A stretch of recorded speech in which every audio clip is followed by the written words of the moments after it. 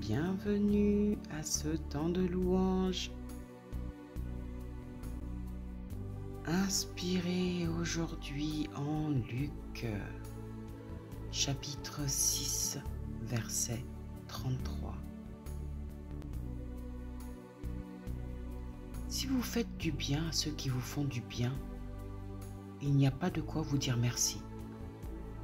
Même les pécheurs font comme vous.